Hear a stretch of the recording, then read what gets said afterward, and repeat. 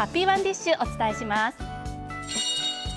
まずは岡山市の南波林さんさんの一皿です。レンコンとごぼうのきんぴら白い根菜を秋に食べると良いと聞きました。ごま油を効かせました、うんうん、そして茄子の揚げ浸し切り込みを入れて味を染み込みやすくしました。ということなんです。はい美味しそうですね、ね、このひと手間ができる方ってねすごいなと思いますよね、うんうん、秋ですねやっぱりね、ね、はい、うん、えー、続いては津山市のアザラシさんの一皿です。実家の畑で採れたさつまいもを使って夫と大学芋を作りました、はい。ホクホクで美味しかったですと。いいですね。ね美味しそうですね。お芋の甘さとこの蜜の甘さのね、うん、ハーモニーがたまらないですよね、ね、またこう外がカリッとしてそうでまたそれも良さそうですよね、はい、うん、今日も手作りの一皿で最高の幸せを。ハッピーワンディッシュでした